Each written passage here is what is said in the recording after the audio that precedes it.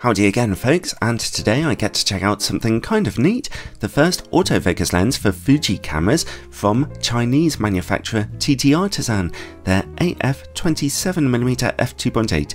It's currently only for Fuji X mount cameras and will have a bargain price of 160 US dollars or 160 pounds here in the UK. I'd like to thank the Pergear company for sending me a copy of this lens for evaluation, although as usual, this is a totally independent review, checking out both its strengths and weaknesses. On the APS-C sized sensor of a Fuji X-mount camera, this thing's 27mm focal length is the full frame equivalent of about 41mm, making it kind of a perfect standard lens, not too wide and not too telephoto, giving you just a little emphasis on your subject while still giving you the bigger picture. And the key selling point of this lens is obviously its tiny little pancake size, but I can also confirm that it's very lightweight, weighing less than 100 grams, you will barely notice it on your camera in use, despite the fact that a lot of its body is made of metal, including the rear mount, which is not weather sealed by the way, the lens's rear cap is pretty unique in that it has electronic connections built in, along with a USB-C port for firmware upgrades, which is a really clever little solution to not having enough room on the lens itself for a USB port. Despite its low cost, the lens does indeed feature an aperture ring, which clicks every third of an f-stop. I have to say though that it is a little thin, a bit fiddly to use, but then again, what else would you expect from an aperture ring on a pancake lens? In front of that comes a manual focus ring, which turns reasonably smoothly and works pretty well with the lens's focus motor. The lens does display some focus breathing here, zooming in as you focus more closely to your subject. The lens's autofocus motor works fairly quickly. It emits a very quiet whirring sound as it goes, and when I was shooting at f2.8 it would sometimes miss focus just a little, although stopping down to f4 seemed to solve that problem. Considering the lens's low price though, this is about as good a performance as you can expect. The lens does not feature image stabilization, it comes with a tiny little metal lens hood and a cleverly designed front lens cap which will clip onto the lens whether the hood is in place or not.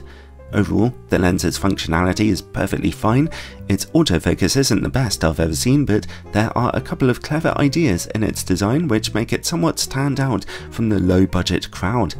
Alright, let's take a look at image quality. I happen to be borrowing a Fuji X-H2 camera at the time of making this review, and its 40 megapixel sensor should offer a serious challenge to this little 27mm lens. Fuji's automatic in-camera corrections are turned on here.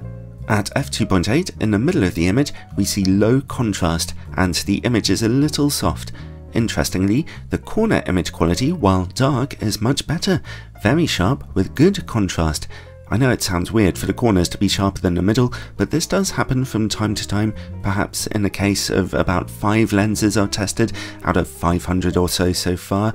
The lens was properly focused on the middle of the test chart, I can assure you.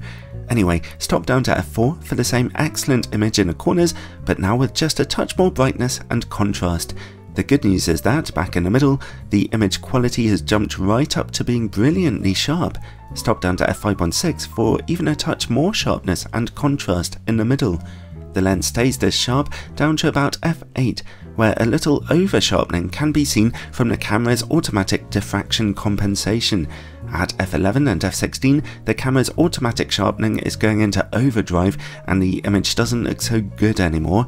Overall though, at f2.8, we really did need to see a bit more sharpness and a lot more contrast in the middle of your images, which is generally where the subject of your photography is going to be, but the good news is that stopping down just to f4 brings about a huge improvement and excellent picture quality, so you should definitely bear that in mind, even if you're shooting on a 24 or 26 megapixel camera. Alright, let's take a look at the lens's distortion and vignetting by bypassing the camera's automatic corrections and shooting in RAW. The lens is projecting some moderate barrel distortion here, frankly I've seen much worse than this before though. The corners are very dark, Stopping down to f4 or f5.6 does bring about a little extra brightness in those image corners, but the vignetting never really goes away completely and you'll definitely want to correct it when shooting in RAW. The lens can focus down to about 35cm, not really very close for a wide angle lens.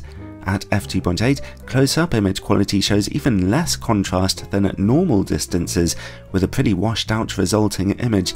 However, as before, stop down just to f4 for a huge improvement in contrast, and at f5.6 we see just a little extra sharpness too. Let's see how the lens performs against bright light. At f2.8 the answer is not well at all. Flaring isn't too bad, but the glaring is dreadful. Stop the lens down to f4, as I do here, for a lot more contrast to emerge. Finally, let's take a look at the quality of this lens's bokeh. It should be pretty clear by now that shooting at f2.8 is not a great idea with this optic, but if you do, then get close enough to your subject for some bokeh that actually looks lovely and smooth. I didn't really notice any bokeh issues with this particular lens. Overall, well, in terms of build quality, the lens is pretty alright for the money you're paying here. In terms of image quality, as you've seen, there are some clear issues when shooting at f2.8, but there's no denying that actually, if you stop down just at f4, the lens offers excellent sharpness and picture quality all around. So if you're willing to do that, then it's actually a decent enough option for its price. Let me tell you a bit of a secret. I find it really interesting when manufacturers start branching out and adding new features like autofocus to their lenses because I like to see how well they do or don't work. It's a nice little extra challenge for me. What's not a challenge for me though is putting extra bonus content onto my Patreon page.